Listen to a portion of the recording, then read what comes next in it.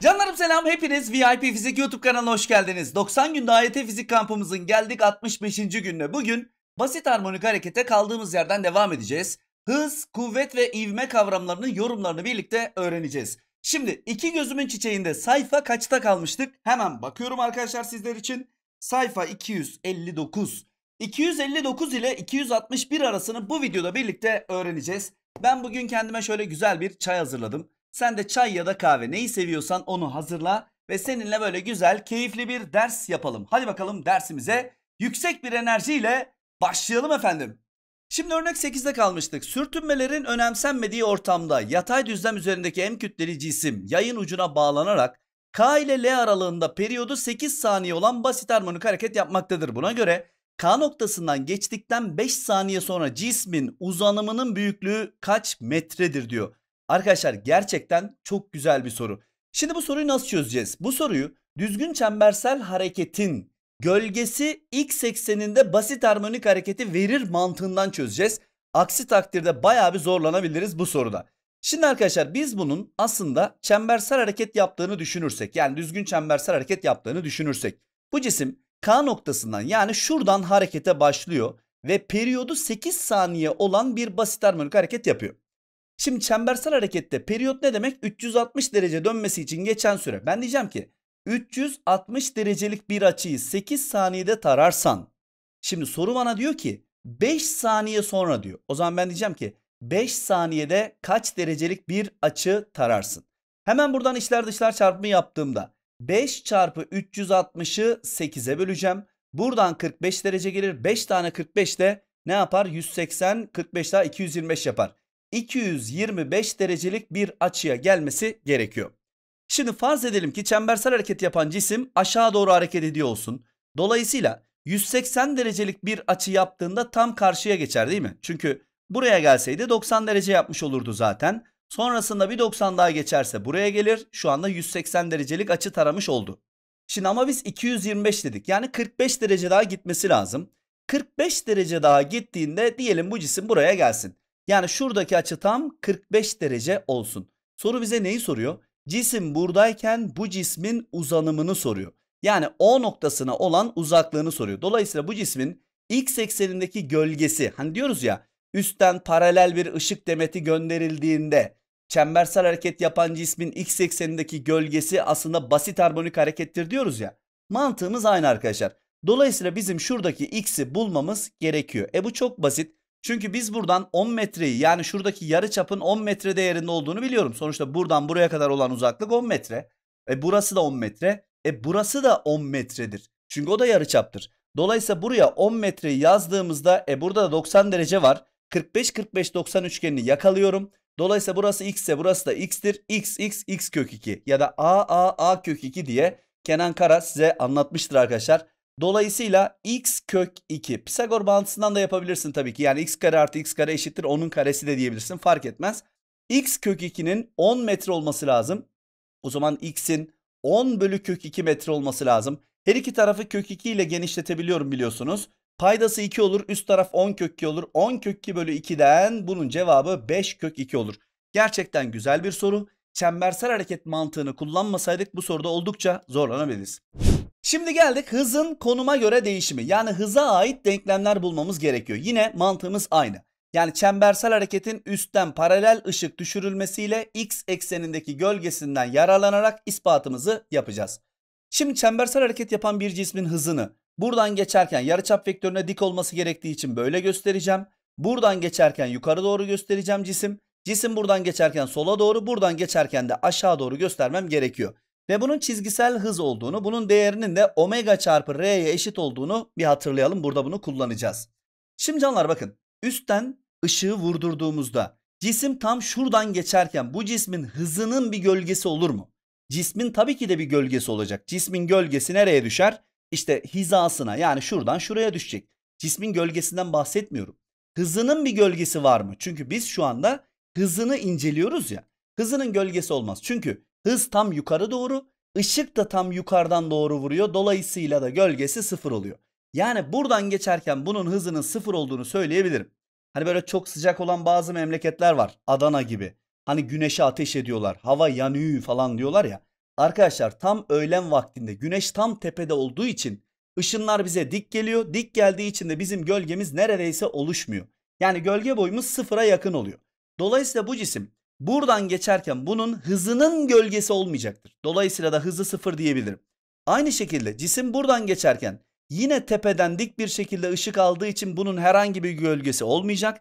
Dolayısıyla da uç noktalardan geçerken ben bu cismin hızına çok rahatlıkla sıfır diyebilirim. Zaten biz bunu biliyoruz yani. Mesela bir cismi basit sarkaç yapalım. Şöyle ip bağlayalım. İpin ucuna cismi bağladım. Ben buradan bırakıyorum. Şimdi bu cisim denge noktasına gelene kadar hızlanıyor biliyorsunuz. Sonra yavaşlayarak yavaşlayarak yukarı doğru çıkıyor ve şuraya geldiğinde duruyor. Yani bu ne demek? Uç noktalardan geçerken yani şöyle yatay ekseni çizdiğimde burası tam uç nokta değil mi? Uç noktadan geçerken zaten hız değeri sıfır oluyor. Aynı şekilde buradan bıraktığım için burada da hızı sıfırdır. Ancak şuradan geçerken hızının maksimum olduğunu yani denge noktasından geçerken hızının maksimum olduğunu biz biliyoruz. Şimdi gölge mantığıyla yine açıklayalım. Denge noktası yani O noktasının hizasından geçerken bu cismin hızına yine aynı şekilde ışınları gönderdiğimde bu sefer ışık buradan vurduğu zaman hızın bir gölgesi olacak mı? Tabii ki olacak çünkü hız burada yılan gibi yatıyor. Dolayısıyla bunun gölgesi de tam kendisi kadar olur ve aşağıda şu şekilde bir hız elde ederiz. İşte bu hızın maksimum değeridir. Yani bilmemiz gereken şey şu. Basit harmonik harekette denge noktasından geçerken hızımız maksimum değerine ulaşır ama uç noktalardan geçerken hızımız sıfır değerine ulaşır. Birinci bilmemiz gereken bu. Bu arada maksimum hızında omega r kadar olduğunu da hatırlayacağız. Maksimum hız deyince aklımıza bizim omega çarpı r gelecek. Zaten çembersel hareketten bildiğimiz bir bağıntı bu. Hani bunu yeni öğrenmedik. Şimdi herhangi bir andaki hızını bulmaya çalışalım. Herhangi bir an ne demek? Yani denge noktasında da değil, orta noktada da değil, uç noktalarda da değil. Ortadaysa hız maksimum, uçlardaysa hız sıfır zaten. Ama herhangi bir anda mesela bu cisim tam şuradan geçerken bu cismin hızını nasıl hesaplayacağız? Burayı silmem gerekiyor arkadaşlar kusura bakmayın. Aksi takdirde ortalık birbirine girebilir diye. Şimdi ben cismi buraya getirdim. Buradayken bu cismin hızını nasıl gösteriyoruz? Şu şekilde yarıçap vektörüne dik olacak şekilde bir hız çiziyoruz. Ve bunun v olduğunu, v'nin de omega çarpı r olduğunu zaten ben biliyorum. Şimdi bu hızın iki tane bileşeni var aslında. Bir tanesi yukarı doğru y ekseninde, bir tanesi de sağa doğru x ekseninde. Şimdi diyelim buradaki açımız teta kadar olsun. Burada z kuralından dolayı şöyle teta nereye gelecek? Teta buraya gelecek. Dolayısıyla şurasının 90 derece olduğunu ben biliyorum ya buraya da alfa dersem burasının da 90 derece olabilmesi için hani alfa artı teta 90 sa alfa artı teta yani teta'nın şuraya geldiğini anladık. Peki teta buraya geldiğine göre ben buradaki bileşenini nasıl bulacağım? Kime komşu buradaki teta açısı? Alt tarafa komşu. Komşu olan biliyorsunuz kosinüs oluyordu. Yani ben buraya omega çarpı r çarpı kosinüs teta yazabilirim. Buraya da omega r sin teta yazacağım. Ancak zaten yukarıdan ışığı vurdurduğum için bunun herhangi bir bileşeni ne olmayacak? Yani şunun herhangi bir gölgesi olmayacak. Yukarıdan ışığı vurduğu anda bunun gölgesi sıfır. Yani y eksenindeki hızı dikkate almama gerek yok. Sadece x eksenindeki hızı dikkate almam gerekiyor. Çünkü yukarıdan ışığı vurdurduğumuzda bunun bir gölgesi olacak mı? Tabii ki de olacak. İşte bu cismin tam şu hizadan geçerken yani herhangi bir an burası. En uç nokta değil, denge noktası da değil. Çünkü en uç nokta yaklaşık olarak burası. İşte denge noktası burası, sıfır noktası. Yani O noktası. Hızı sıfır değil ama hız maksimum. Diğer taraftaki uç noktada genlik de burada oluyor. Yani eksi R ile artı R arasında basit harmonik hareket yapıyor. Dolayısıyla bak burası herhangi bir an. Herhangi bir andaki hıza anlık hız deniyor. Peki anlık hızın bağıntısı ne? Arkadaşlar basit harmonik hareketin bir tane ilginç formülü var. O da bu formül. Şimdi onun nereden geldiğini ispatlamaya çalışıyorum. Dediğim gibi buradan geçerken hızını bileşenlerine ayırdığımda artık şu hız yok. Çünkü ben onu bileşenlerine ayırdım. Şimdi bu hızın y eksenindeki bileşeninden hiçbir şey gelmiyor. Gölge gelmiyor. Ama x ekseninden gelen gölge omega r cos theta. Peki buradaki kosinüs teta'yı nasıl bulabilirim? Şuranın ben x kadar olduğunu biliyorum. Çünkü buradan buraya kadar çizilen mesafeye zaten uzanım diyoruz. Burası x, burası da y. Şimdi arkadaşlar kosinüs teta ne demektir? Komşu bölü hipotenüs. Yani şuradaki y'yi, şuraları silelim şöyle. Şuradaki y'yi hipotenüse bölmem lazım. Hipotenüs şurası. Yani r kadar olan yer hipotenüs. O zaman y bölü r yazacağım. Yani benim denklemim aslında omega çarpı r çarpı kosinüs teta yerine de y bölü r yazmam gerekiyor. Peki y'yi nasıl bulacağım? Pisagor bağıntısından bak şurada 90 sa x kare ve y karenin toplamı r kareyi vermiyor mu? Veriyor. Hadi yazalım. x kare artı y kare eşittir r kare ise ben buradan y kareyi yalnız bırakırsam r kare eksi x kare olur. İki tarafı karekök içerisine aldığımı düşünürsem ne olur? y eşittir karekök içerisinde r kare eksi x kare. Dolayısıyla arkadaşlar omega r kosinüs teta yerine de ne yazacağım? r kare eksi x kare yazacağım. Hadi bakalım yazalım. Şuraya karekök içerisinde r kare eksi x kare yazacağım. Ancak burada bak y bölü r vardı. Yani biz burada y'yi bulduk ama bir de r'ye bölmemiz gerekiyor. Yani şunun altında bir de r var. Dolayısıyla buraya bir tane de r'yi bölme olarak getirdiğimde bu r'ler birbirini götürüyor. Ve anlık hız formülü o meşhur hız formülü ortaya çıkıyor. Anlık hız omega çarpı karekök içerisinde r kare eksi x kare. Arkadaşlar dilim döndüğünce nereden geldiğini sizlere anlatmaya çalıştım. Ancak siz bunu hani bu şekilde anlamasanız bile bu bağıntıyı bilirseniz yani omega karekök içerisinde r kare eksi x kareyi bilirseniz herhangi bir problem yaşamayız. Buradaki x bizim uzanımımız yani herhangi bir noktadaki denge noktasına olan uzaklığımız. Dolayısıyla biz bu bağıntıyla bir cismin herhangi bir yerdeki hızını bulmuş oluyoruz. Zaten maksimumumuz belli. Maksimumumuz orta noktadan geçerken. Yani buradan geçerken omega r şeklinde hızı hesaplıyoruz. Buradan geçerken hızdan bahsedemiyoruz. Burada cisim duruyor çünkü. Dolayısıyla uç noktalarda hız sıfırdır. Ortada maksimumdur. Herhangi bir yerdeki hız da maalesef şu şekilde değişik bir formülle bağıntıyla bulunuyor arkadaşlar. Bir de hızın yönüyle ilgili sorular gelebilir arkadaşlar. Hızın yönü cisim ne tarafa doğru hareket ediyorsa o tarafa doğrudur. Örnek veriyorum burası denge noktası. Tamam. Burası artı r uzanımımızın bu taraftaki maksimum değeri. Burası da eksi r diyelim. Bu cisim bu noktadan geçerken sağa doğru da geçiyor olabilir. Sola doğru da geçiyor olabilir. Yani her tarafa hareket edebilir değil mi? Dolayısıyla bu cismin hızı eğer bu cisim sağa doğru gidiyorsa hızı sağa doğrudur. Eğer bu cisim sola doğru hareket ediyorsa hızı sola doğrudur. Yani hızı her zaman şuraya doğrudur, her zaman buraya doğrudur diye bir şey yok. Cisim ne tarafa hareket ediyorsa hızı o tarafa doğrudur. Buna not almanız gerekiyor. Şimdi canlar aslında biz yaylı sarkaç mantığından da hızın nerede max nerede min olduğunu bilebiliyoruz. Mesela bir masanın üzerine ben bir yay koydum. Herhangi bir sıkıştırma yapmadım. Cismi buraya bağladım. Şimdi ben bunu eğer buraya kadar sıkıştırırsam bu cisim denge noktasını o kadar geçerek yani örnek veriyorum artı 10 ile eksi 10 arasında basit harmonik hareket yapacak değil mi? Bakın cisim buraya geldiğinde durmuyor mu arkadaşlar? Oraya kadar gidiyor orada duruyor geri dönüyor. Dolayısıyla bu, burası uç nokta. Uç noktadayken cisim durur hızı sıfırdır. Yine burası da uç nokta. Buraya kadar geliyor yine orada duruyor geri dönüyor. Dolayısıyla burada da hız sıfırdır. Ama orta noktadan bu cisim en büyük hızıyla geçiyor. Yani maksimum hızıyla geçiyor. Ve maksimum da çembersel hareketten omega r olduğunu biliyoruz. Hızın yönü de cisim ne tarafa gidiyorsa o kadardır. Hız olayı bitmiştir arkadaşlar. Geçmiş olsun diyebilirim. Şimdi geldik örnek 9'a. Yatay düzlem üzerinde x, y noktalar arasında denge konumu O noktası olacak biçimde basit harmonik hareket yapıyor. Periyodu 6 saniye. Buna göre O noktasından ard arda iki geçişi sırasındaki hız değişimi kaçtır? Hız değişimi dediği şey delta v'dir arkadaşlar. Dolayısıyla bizim delta v dediğimiz şey de son hızdan ilk hızın çıkartılmasıdır. Ama vektörel olarak çıkartmamız gerekiyor tabii ki. Şimdi O noktasından ilk geçişimizde bizim hızımız ne tarafa doğrudur? Sağa doğru geçtiğimiz için haliyle sağa doğru bir hızımız var. E O noktası herhangi bir yer değil ki. Maksimum hızın olduğu yer. Dolayısıyla ben buradaki hızı omega çarpı r'den bulabilirim. Peki omega'yı nasıl bulacağız? Açısal frekans dediğimiz şey 2 pi bölü t'dir arkadaşlar.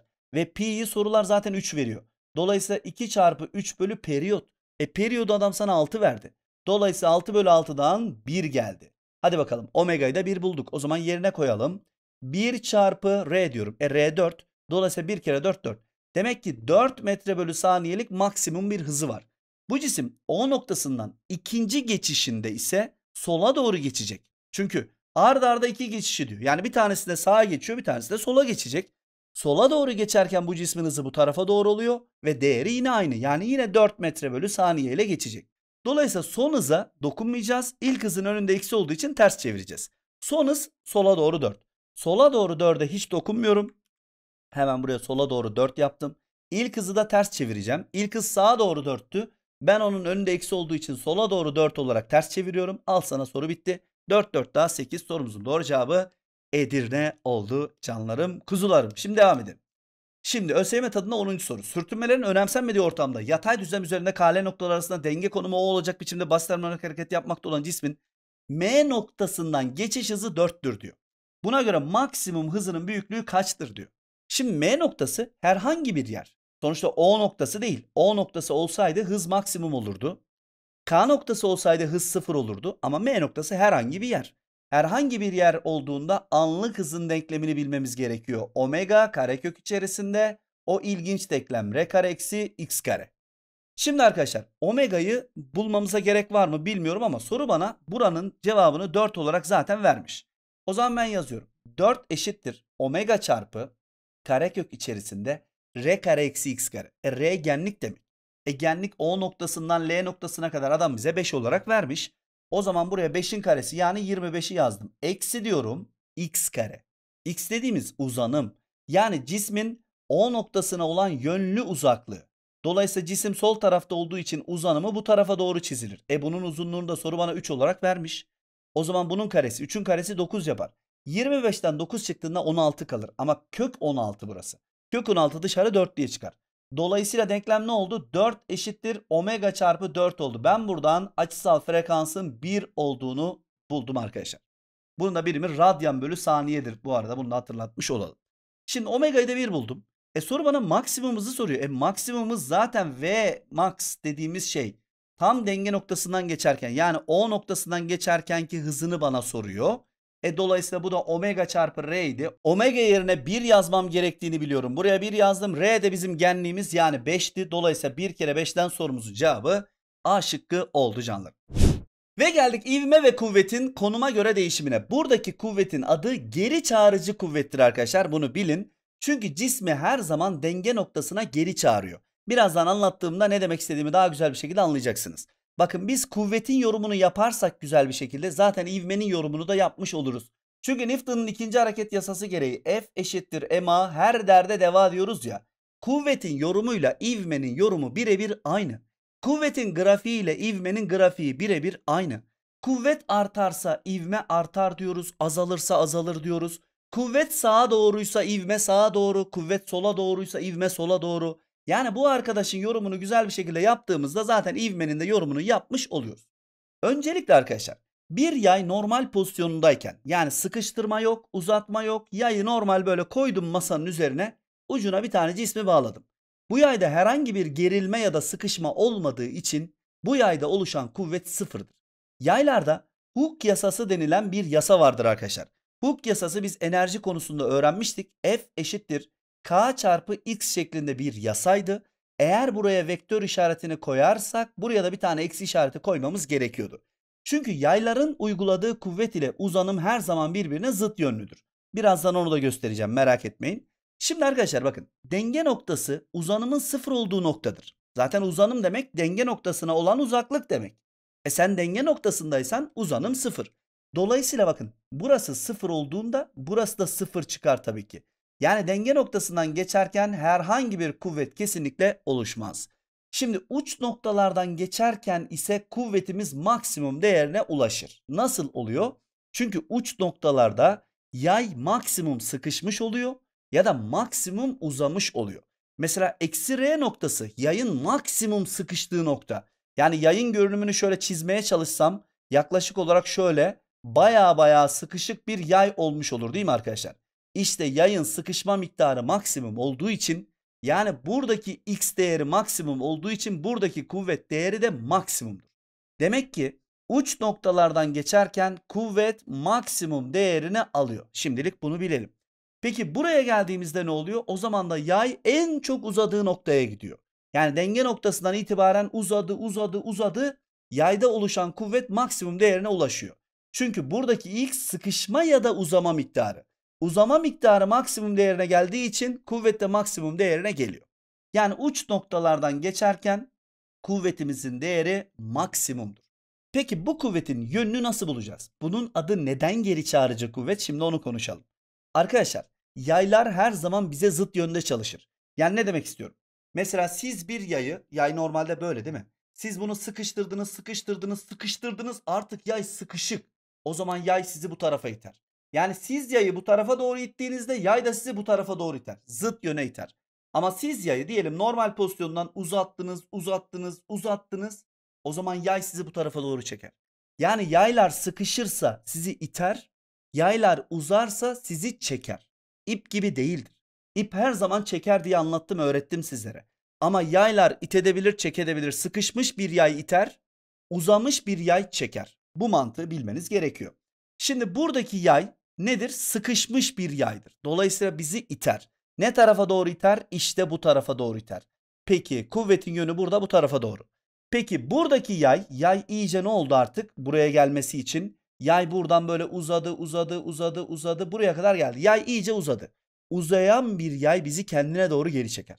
Dolayısıyla buradaki kuvvetin yönü de bu tarafa doğrudur. Yani yay kendine çekiyor bu sefer. İşte arkadaşlar kuvvet her zaman denge noktasına doğrudur. Bak buradayken de kuvvet O noktasına doğru. Buradayken de kuvvet O noktasına doğru. Yani cismi sürekli O noktasına geri çağırıyor. O yüzden bunun adı geri çağırıcı kuvvet. Diyor ki cisme denge noktasına gel. Denge noktasına dön. O yüzden bunun adı geri çağırıcı kuvvet olmuş.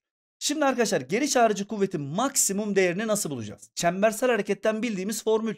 Şimdi çembersel harekette merkezcil kuvvetin formülünü m çarpı omega kare çarpı r diye öğrendik ya. İşte arkadaşlar buradaki r zaten bizim uzanımımızın maksimum değeri. Dolayısıyla r'den daha büyük bir değer yok değil mi? Yani r'nin daha ötesine gidebiliyor muyum? Gidemiyorum. O yüzden buradaki m omega kare r maksimum kuvvettir. Geri çağrıcı kuvvetin maksimum değeri yazıyorum. m çarpı omega kare çarpı r. Buradayken de aynı şekilde m çarpı omega kare çarpı r'dir. Maksimum değerleri bu. Peki hocam her zaman maksimum mu oluyor? Hayır her zaman maksimum olmaz. Mesela bu cisim şuradan geçerken haliyle uzama miktarı ya da sıkışma miktarı maksimum olmadığı için buradan geçerken kuvvet maksimum değildir. Peki o zaman ne yapacağız? F eşittir m omega kare r yapamayız ki. Burada ne yapacağız biliyor musun? F eşittir buna anlık diyeceğiz. Yani anlık kuvvet değeri. M çarpı omega kare çarpı tahmin et. R demeyeceğim de x diyeceğim. Sonuçta Rx'in maksimum değeri değil mi? Yani genlik uzanımın maksimum değeri değil mi? Evet. İşte buraya x yazdığında oluyor sana anlık kuvvet değeri. Ya bu kadar basit. Buradayken de aynı şekilde işte. Fark eden bir şey yok. Yani m çarpı omega kare çarpı x. x dediğim şey denge noktasından buraya doğru olan uzaklık burası için. Burası için yani sol taraf için ise denge noktasından buraya doğru olan uzaklığa biz uzanım diyoruz ve bu vektörel bir büyüklük biliyorsunuz. Bunun bir yönü var. İşte arkadaşlar eğer siz bunun üzerine vektör işareti koyarsanız denklemi bu şekilde yazamazsınız. Önüne bir eksi koymanız gerekiyor. Neden? Çünkü uzanım mesela buradan geçerken uzanım sola doğru ama geri çağrıcı kuvvet her zaman merkeze doğru demedim mi? Merkez ne tarafta? O noktası sağ tarafta. Burada kuvvetin yönü sağa doğrudur. Dolayısıyla uzanım ve kuvvet zıt yönlü olduğu için önüne bir tane eksi koyarak bu sorunu çözmen gerekiyor. Ama bu eksinin matematiksel bir değeri kesinlikle yok. Sadece yön belirtiyor. Yani biz sorularda işlem yaparken eksi kullanmıyoruz. Sadece bir soruda hani böyle 1 2 3'lü sorularda böyle bir şey gördüğünüzde eğer üzerinde vektör varsa önünde eksi olması gerekiyor. Aynı şekilde burası için de geçerli. Yani R de bir vektör çünkü. Eğer bunun üzerinde eksi, e, vektör varsa sizin bunların herhangi birinin önüne ne işareti koymanız gerekiyor? Eksi işareti koymanız gerekiyor.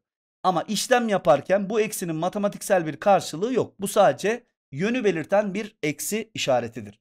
Evet kuvvetin anlık değerini bulduk. Sadece R yerine X yazıyoruz. Anlık değerini buluyoruz. Bu çok basit. Çünkü biz bunu çembersel harekette defalarca uyguladığımız bir formül bu. E şimdi hocam ivmeyi yapalım. İvme aynısı. Yani F eşittir MA'da F'i M'e bölersen yani şunu şu tarafa atarsan M'i kaldırırsan ivme çıkıyor ortaya. Yani ben burada hocam maksimum ivmeyi merak ediyorum. Tamam yaz. M'i yazma gerisini yaz. Yani omega kare çarpı r diyeceksin. Hocam buradaki ivme aynısı. Ne yazacaksın? M'i yazmayacaksın. Omega kare r. Sen bunu da çembersel hareketten biliyorsun. Merkezcil ivme dediğimiz ivmeyi burada kullanabiliyoruz. Omega kare r. Hocam ben anlık ivmeyi merak ediyorum. Yani neyi merak ediyorsun? Mesela burası denge noktası burası artı r. Burası eksi r ya. Sen de diyelim şuradaki ivmeyi merak ediyorsun. Herhangi bir yer değil mi burası? Tamam. Buradaki ivme nedir? A eşittir. Anlık diyeceğiz buna. M yok. Omega kare çarpı R demeyeceksin de X diyeceksin. Bitti. Ha, eğer buna vektör işareti koyduysan eksi koyacaksın. Çünkü kuvvetin yorumuyla ivmenin yorumu birebir aynı. Yani burada uzanım vektörü ile kuvvet vektörü her zaman birbirine zıt olduğu için mesela şuradan geçerken bizim kuvvetimiz ne tarafa doğru? Denge noktasına doğru. Denge noktası nerede? O noktası burada. O zaman kuvvet bu tarafa doğru değil mi? Kuvvet bu tarafa ama uzanım sağa doğru. Zıt. O yüzden eksi var.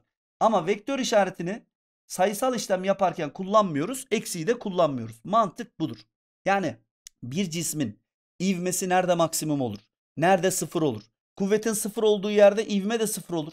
Kuvvetin yorumuyla ivmenin yorumu birebir aynı. Nerede max olur? Nerede min olur?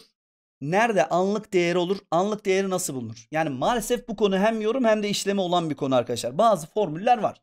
Ama bana göre anlık hızın formülü dışında burada zor bir formül yok.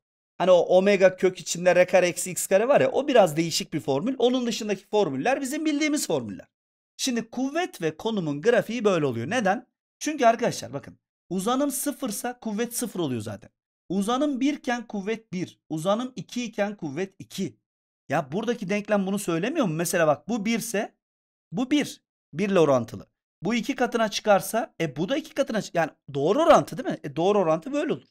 Hocam neden bu böyle yani yamuk? Yani neden bu şöyle değil? Çünkü yönleri zıt.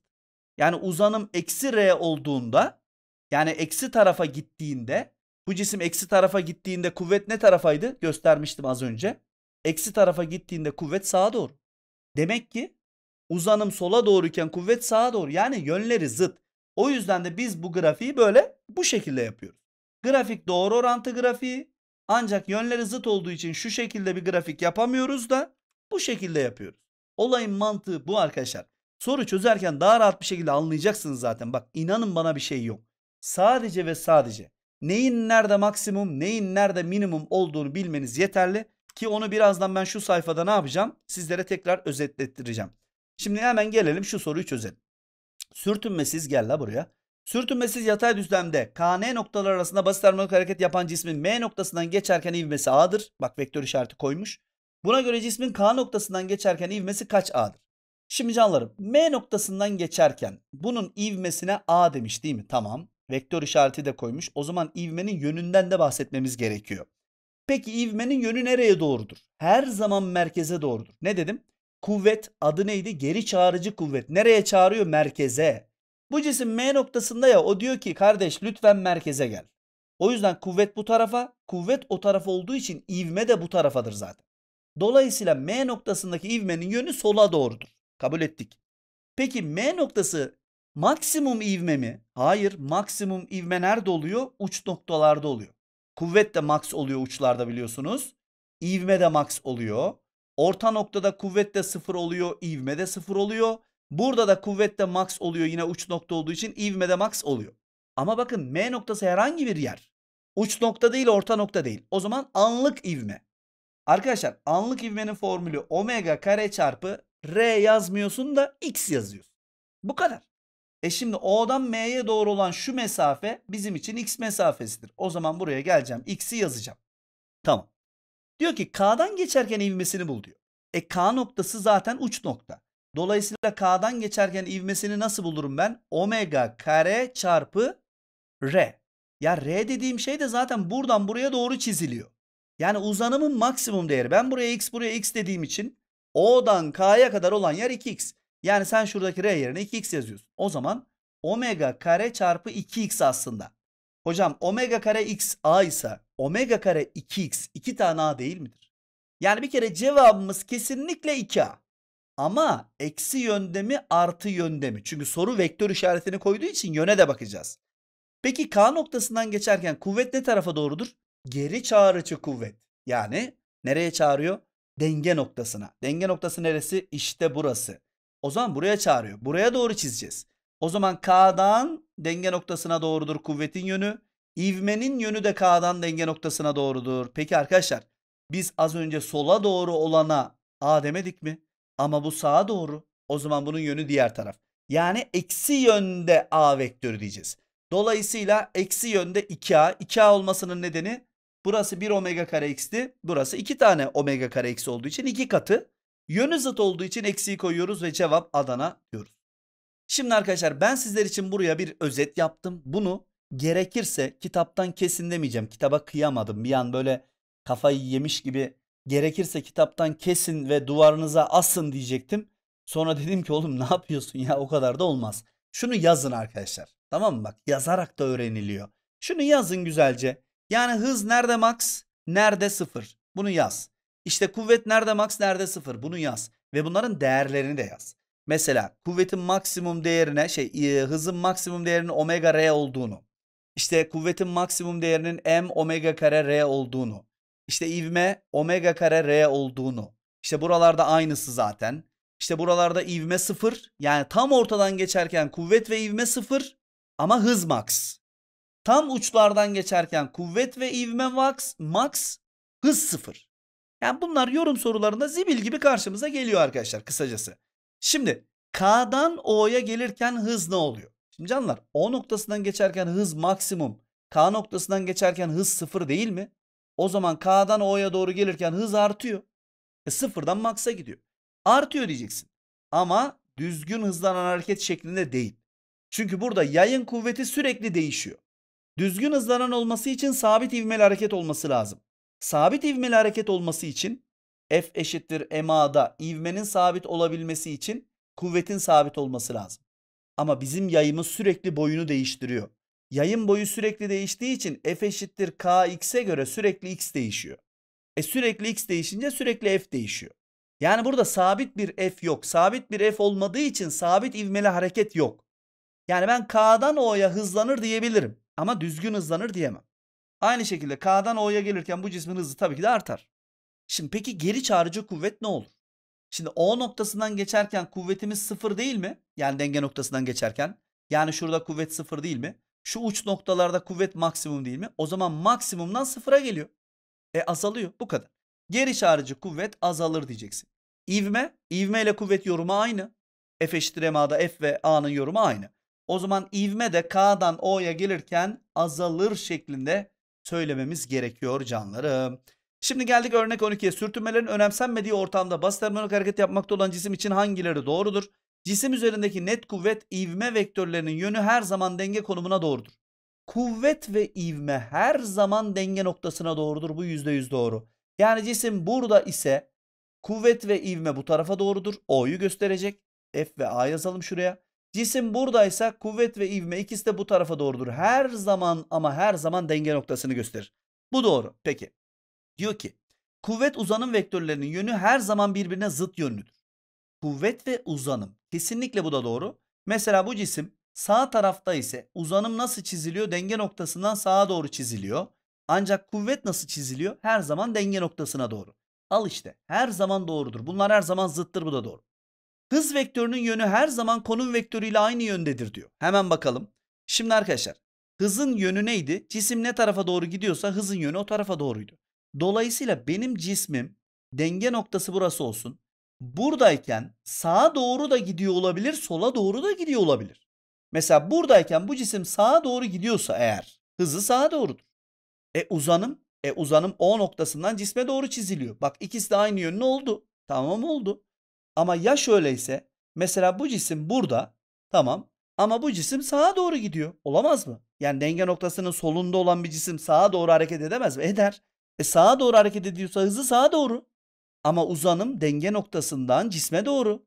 Ne oldu? Bak hız ve uzanım birbirine bu sefer de zıt oldu. Yani bu iki arkadaş aynı yönlü de olabiliyor, zıt yönlü de olabiliyor. Ama burada ne diyor? Her zaman aynı yöndedir. Ya böyle bir şey yok. O yüzden cevap Bursa. Geldik 13. soruya. Diyor ki sürtünmesi önemsiz yatay düzlem üzerinde AB noktalar arasında basit harmonik hareket yapmakta olan cisim C noktasından ok yönünde geçtikten 2 saniye sonra B noktasına gelmektedir. Evet bir kere şunu hemen not alalım. Buradan buraya toplam 2 saniyede geliyormuş. Buna göre cisim C noktasından ok yönünde geçtikten 7 saniye sonra cismin üzerindeki kuvvet, hız ve ivme konum vektörlerinin yönü için hangileri doğrudur.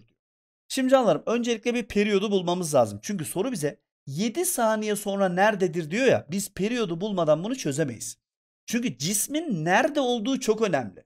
Yani bu cisim eğer denge noktasının sağ tarafındaysa kuvvet bu tarafa çizilecek, ivme bu tarafa çizilecek. Ama bu cisim 7 saniye sonra Denge noktasının bu tarafındaysa o zaman kuvvet ve ivme bu tarafa çizecek. Yani bunların yönünü son derece etkiliyor.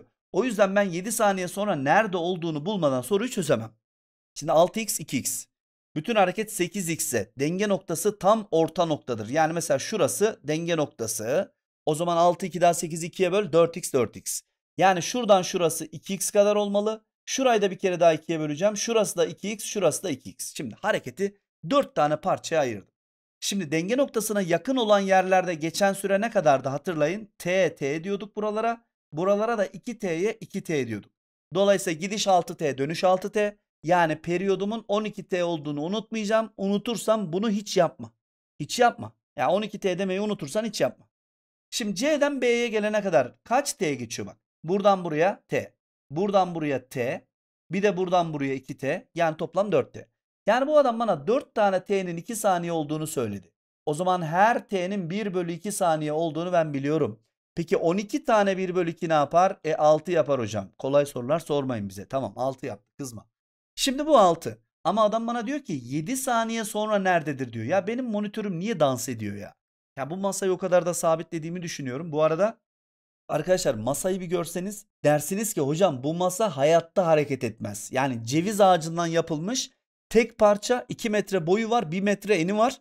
Devasal bir masa ama bu bile sallanıyor. Demek ki yerde zeminde bir yamukluk var. Onu da çözeceğim. Yani bakarım ne tarafıysa bir şey koymam lazım altına. Şimdi arkadaşlar biz burada 7 saniye dedi ya ama periyot 6. Periyot ne demek? Gidecek gelecek. 6 saniye geçecek. Yani bu cisim bir kere 6 saniye içerisinde C'den B'ye gider, B'den A'ya gelir ve tekrar C'ye gelir. Periyot bu demek. Yani buradan buraya kadar gelir, buradan buraya kadar gelir, sonra buradan buraya kadar gelir. Yani bütün hareketi bitirmesi lazım. Bütün hareketi bitirdiğinde 6 saniye geçiyor. Tamam ama 7 saniye. Ya 1 saniye kaldı. Peki ben C noktasına tekrar geldim ya 6 saniye sonra. 1 saniye kaldı. 1 saniyede nereye giderim? E T dediğim 1 bölü 2. O zaman buradan buraya giderim. T'ye kadar geçer. Yani 1 bölü 2 saniye geçer. Buradan buraya giderim. Bir 1 bölü 2 saniye daha geçti. Oldu 1 saniye. Bitti. Yani ben 7 saniye sonra tam olarak şuradan geçiyorum canlar.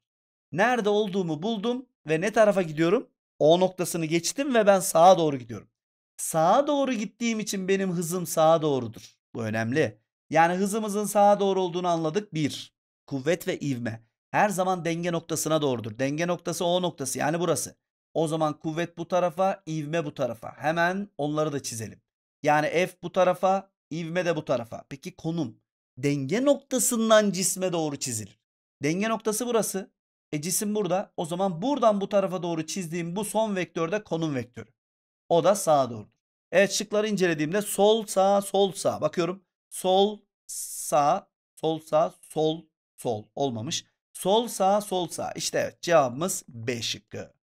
Şimdi geldik 14. soruya. Canlar diyor ki sürtünmesi önemsiz düşey düzlem üzerinde denge konumu O noktası olan X, Y arasında basit harmonik hareket yapan cisim Z noktasından geçerken ivme vektörü, hız vektörü ve konum vektörü. Bunların bana ne diyor? Z noktasından geçerken bunların yönlerini bana soruyor. Şimdi arkadaşlar bu cisim Z noktasından geçerken bak dikkat edersen hangileri olabilir diyor. Neden olabilir diyor biliyor musun? Çünkü Z noktasından aşağı doğru geçiyor da olabilir. Yukarı doğru geçiyor da olabilir. Yukarı geçiyorsa hızı yukarı olur. Aşağı geçiyorsa hızı aşağı olur. Hızının yönü böyledir yani hız her zaman e, istediği tarafa olabiliyor. Şimdi o noktası neresi? Yani denge noktası burası. Ama kuvvet ve ivme her zaman denge noktasına doğrudur.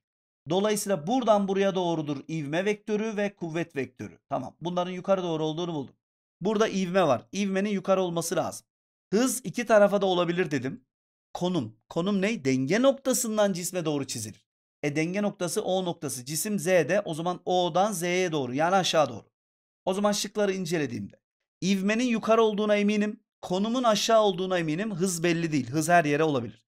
İvme yukarı, konum aşağı bak. İvme yukarı, konum aşağı. Görüyor musun?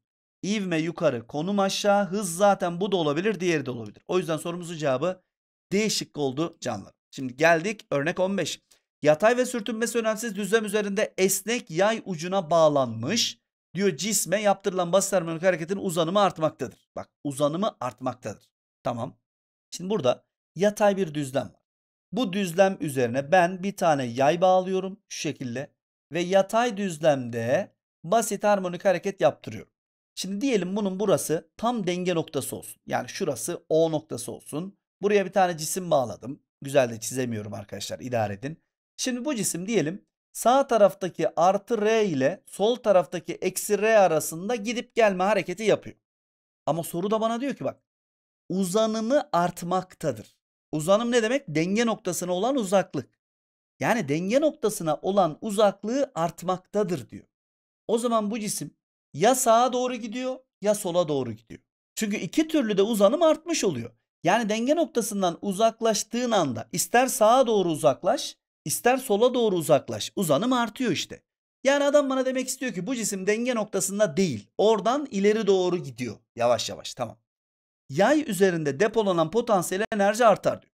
Arkadaşlar yaylarda depolanan enerji, esneklik potansiyel enerjisi 1 bölü 2 kx kare değil mi?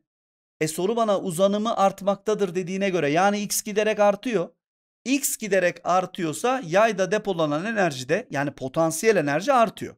Bu %100 doğru. Peki cismin hızı giderek azalır diyor.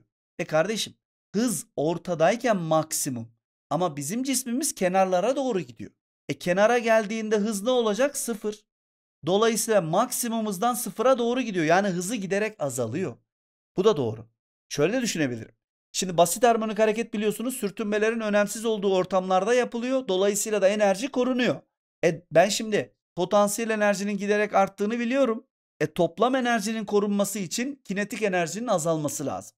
Yani E toplam eşittir E potansiyel artı E kinetik mantığıma göre.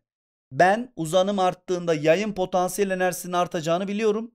O zaman toplamının değişmemesi için kinetiğin azalması lazım. Yani hızın azalacağı bu şekilde de anlaşılıyor. Zaten kinetik enerji demek 1 bölü 2 mv kare demek. Yani bu azalacak ki kinetik azalsın.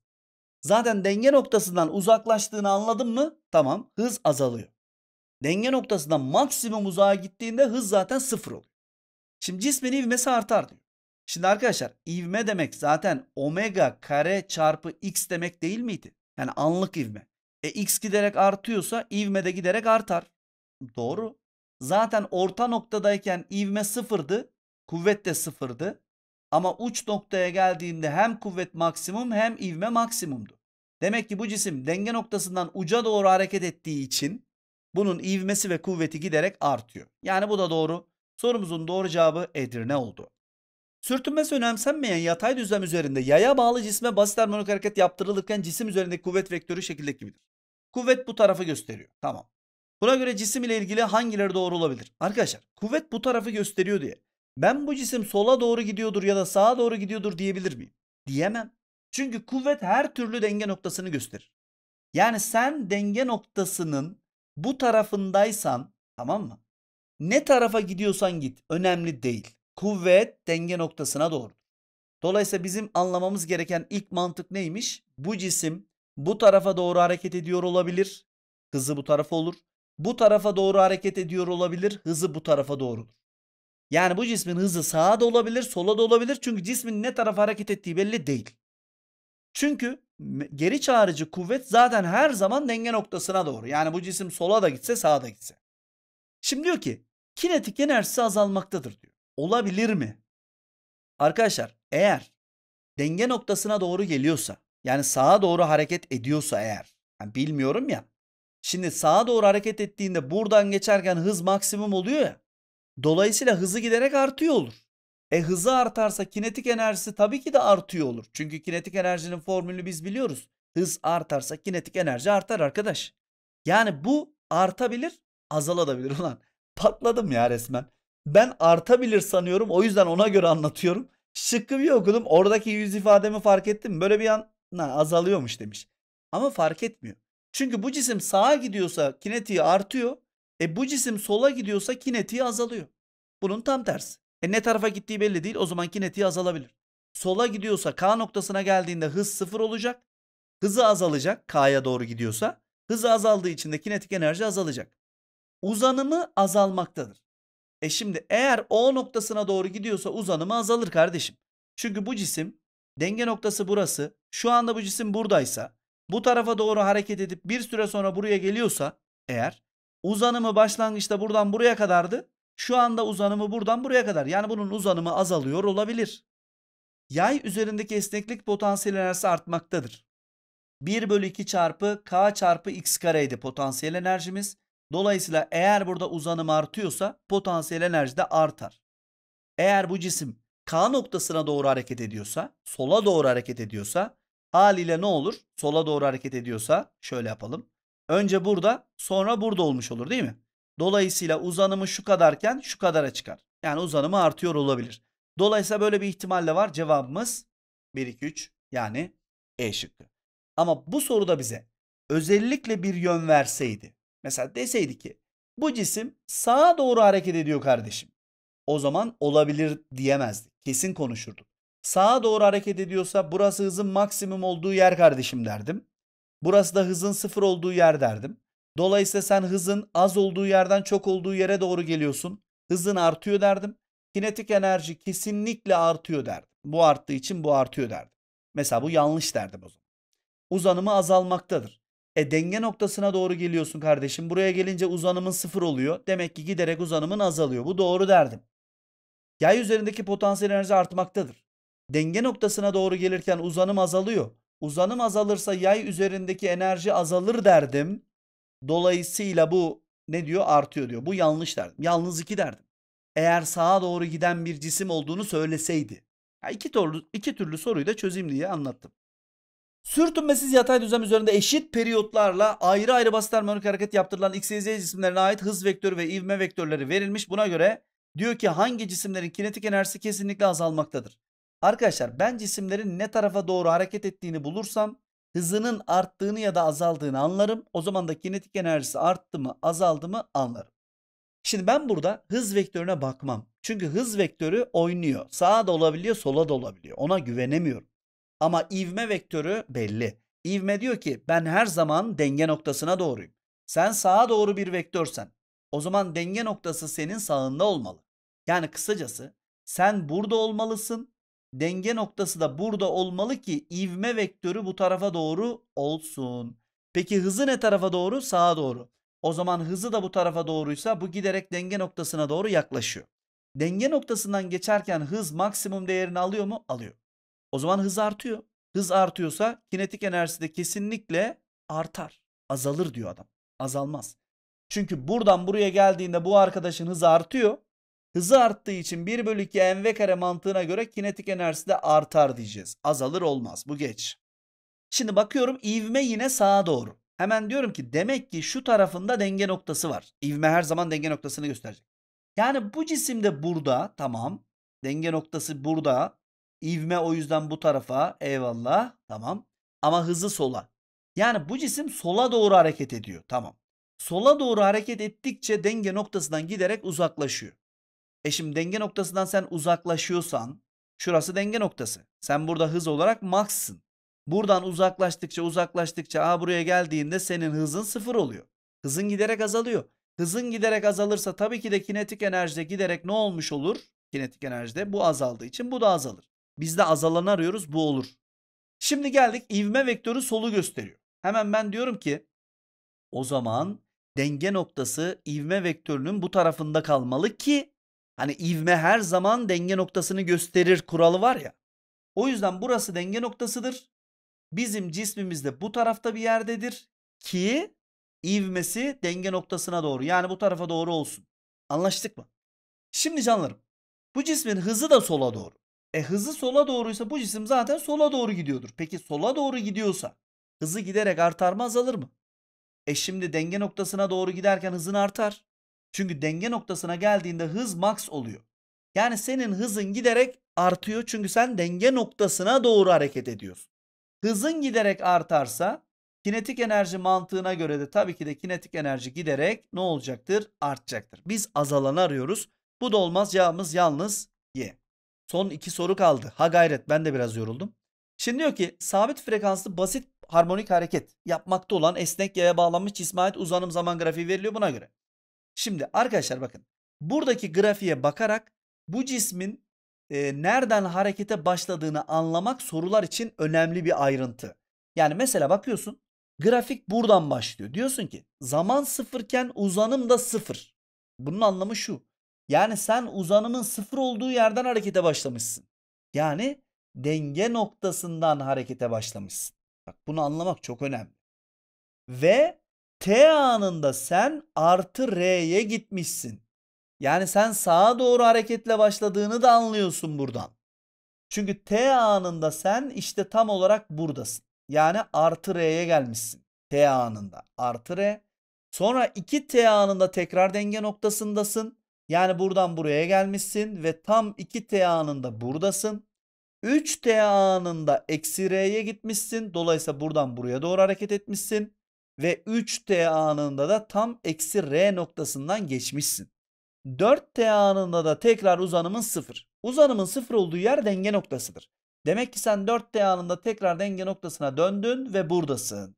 Artık soruyu çözebilirsin. Soru basitleşti. 3t anında yaydaki enerji maksimumdur. E kardeşim 3t anında biz neredeyiz? Buradayız. Burası denge noktasına maksimum uzaklığı olan bir nokta değil mi? Yani uzanım maksimum değil mi? Evet. Uzanım maksimumsa 1 bölü 2 kx kare değil mi potansiyel enerji formülü? O yüzden buradaki uzanımın maksimum olması buradaki potansiyelin maksimum olması anlamına geliyor. E zaten biz dedik? Sürtünme olmadığı için toplam enerji korunur. Toplam enerji potansiyel artı kinetik demektir. Uç noktaya geldiğinde hızın sıfırdır. Hızın sıfırsa kinetiğin sıfırdır. E kinetik sıfırsa potansiyel maksimum değerini alır tabii ki. Tam tersine kinetik maksimumsa o zaman da potansiyel sıfır olur. O nerede oluyor? Söyle bakayım bana çabuk. Yorum yaz. söyle. Bir şey söyle. O da denge noktasında olur. Çünkü denge noktasından geçerken cismin hızı maksimumdur. Hızı maksimum olduğu için kinetik enerjisi maksimum değeri alır. Denge noktasından geçerken uzanım diye bir şey olmuyor ya. Tam denge noktası uzanımın sıfır olduğu yer. Uzanım sıfırsa x sıfır oluyor. Yani şu arkadaşın sıfır olması durumunda bu arkadaş da sıfır oluyor. Yani potansiyelin minimum olduğu yerde, sıfır olduğu yerde kinetik maksimum, kinetiğin minimum olduğu yani sıfır olduğu yerde de potansiyel maksimumdur. O yüzden bu doğru. 6T anında cismin kinetik enerjisi maksimumdur. 6T anına hemen bakıyorum. 6T burası. Buradayken uzanım ne? Sıfır. Tam, tam sıfır noktası. Uzanımın sıfır olduğu yer denge noktasıdır. Denge noktasındayken bizim hızımız maksimum değerini alır. Dolayısıyla kinetik enerji de tabii ki de maksimumdur. Hız maksa kinetik de max. Bu da doğru. 2T anında uzanım sıfırdır. Hemen bakıyorum. 2T anı grafiğin yine kesiştiği nokta yani uzanım sıfırdır. Dolayısıyla bu da doğru. Cevabımız E şıkkı. Ve geldik bu videonun son sorusuna. Esnemeyen ipucuna bağlanan bir cisme düşey düzlemde denge konumu O noktası olacak biçimde x, y noktalar arasında basit hareket yaptırılıyor. Cisim üzerindeki geri çağrıcı kuvvetin sıfır olduğu anda. Arkadaşlar gerçekten çok önemli bir soru. Yani bu soruyla birlikte siz geri çağrıcı kuvvet dediğinde ne yapmanız gerekiyor? Merkezcil kuvvet dediğinde ne yapmanız gerekiyor? Aradaki farkı ayırt edeceğimiz soru bu soru. O yüzden bu soru çok önemli. AYT sınavında bir kere buradan geldi arkadaşlar. Yani geri çağrıcı kuvvetle merkezcil kuvveti birbirine ayırt edemeyenler patladı. Hem de fena patladı. İşte biz şimdi bu soruyla bunun ayrımını iyi bir şekilde öğreneceğiz. Beni dikkatli dinle. Son soru zaten. Şimdi bak bir kere diyor ki burada cisim üzerindeki geri çağrıcı kuvvetin sıfır olduğu anda geri çağrıcı kuvvet nerede sıfır kardeşim? Bak bir düşün. Denge noktasından geçerken geri çağrıcı kuvvet maksimum değerini mi alıyor? Sıfırı mı alıyor? Denge noktası geri çağrıcı kuvvetin sıfır olduğu noktadır. Uç noktalar geri çağrıcı kuvvetin maksimum olduğu noktalardır. Ne demiştim? Neyin nerede maksimum olduğunu bilmezsen bu konuyu yapamazsın. Hatta orta nokta hızın maksimum olduğu yer, uç noktalarda hızın sıfır olduğu yer. Yani bu ne demek? Hız maxken geri çağrıcı kuvvet sıfır, hız sıfırken geri çağrıcı kuvvet maksimum. Kuvvetin maksimum olduğu yerde ivme de maksimum. Dolayısıyla buralara ivmeyi de yapıştıralım. Buraya da ivme de sıfır çünkü hız e, çünkü kuvvet sıfır. Şimdi yani soru bana geri çağrıcı kuvvetin sıfır olduğu nokta derken şu noktadan bahsettiğini anlattı mı? Anlattı. Uzanım sıfırdır. Evet. Çünkü orası denge noktası. Tamam. Kinetik enerjisi maksimumdur. Arkadaşlar bu arada aklıma gelmişken. Şimdi bu şekilde ipli sarkaçlarda uzanım nasıl bulunuyor? Mesela cisim e, buradayken bu cismin uzanımı yatay eksenden çiziliyor. Yani denge noktası şurası alınıp buradan buraya doğru bir uzanım vektörü çiziliyor. Yani şöyle bir uzanım vektörü çizilmiyor. İşte buradan buraya doğru böyle çapraz bir uzanım vektörü falan yok. Mesela bu cisim örnek veriyorum şuraya geldi diyelim. Uzanım vektörünü nasıl çizeceksin? Denge noktasından oraya doğru yatay bir vektör çizeceksin. Yani buradan böyle çapraz bir vektör falan yok. Tamam. Bu basit sarkaçlarda yani ipli sarkaçlarda uzanımın nasıl çizildiğini sizlere bir kez daha hatırlattım. Çapraz bir çizim kesinlikle yok. Ne yapacakmışız? Denge noktası hizasından cisme doğru düz bir çizgi çekeceğiz. Bunun adı uzanım. Şimdi kinetik enerji orada maksimumdur kardeşim. Çünkü denge noktası hızın maksimum olduğu yer haliyle 1 bölü 2 mv kare mantığına göre de kinetik enerji burada maksimumdur. Bu maksa bu da makstır. Bu da bitti. İpteki gerilme kuvveti maksimumdur. Şimdi arkadaşlar ipteki gerilme kuvvetini yorumlamak için merkezcil kuvveti yorumlamamız lazım. Şimdi çembersel hareketten siz biliyorsunuz. Aslında bu cisim küçük çaplı da olsa burada bir çembersel hareket yapmıyor mu? Yani bir dairesel hareket yapıyor mu? Yapıyor. Dairesel hareketin merkezi neresi? Bunun etrafında dönüyor değil mi bak? Normalde bizim basit harmonik hareketimizin denge noktası O noktası. Ama dairesel hareket mantığıyla düşündüğümüzde çembersel hareketi düşünmemiz gerektiği için bu çemberin merkezi burası. Şimdi merkezcil kuvvet ne olur? O noktasına doğru giderken merkezcil kuvvet ne olur? Biz ne dedik az önce? Geri çağrıcı kuvvet O noktasında sıfır dedik değil mi? Ama merkezcil kuvvet O noktasında sıfır değildir. Hatta maksimum. Neden? E merkezcil kuvvet dediğimiz şey m çarpı v kare bölü r değil mi? Dolayısıyla r dediğim şey ipin uzunluğu değil mi? Yani çemberin yarı çapı r değişiyor mu kardeşim? E değişmiyor. Yani buradaki genlikteki r ile merkezcil kuvvetteki r aynı şey değil ki. Basit harmonik harekette r dediğim şey o noktasına olan yatay uzaklık. Yani şu an için r burası. Basit harmonik harekette düşündüğümde. Ama merkezcil kuvveti düşündüğümde R dediğim şey çemberin yarıçapıdır. Değişiyor mu kardeşim? E değişmiyor hocam. E bu değişmiyorsa kütle zaten değişmiyor. Bunu çiz bunu çiz. Peki O noktasında hızın max değil mi? Max. Hızın max değerini alıyorsa merkezcil kuvvetinde max değerini almış olmuyor mu? Oluyor. Yani bak O noktasından geçerken geri çağrıcı kuvvet sıfır ama merkezcil kuvvet maksimum. Al işte anlatmak istediğim yorum buydu. Yani merkezcil kuvvetin yorumuyla geri çağrıcı kuvvetin yorumu farklı yapılıyor. Çünkü oradaki R farklı, buradaki R farklı. Hani o ayrıntıyı dikkat etmek lazım. Tamam. Şimdi ipteki gerilme niye maksimum oluyor? O noktasından geçerken maksimum olur tabii ki.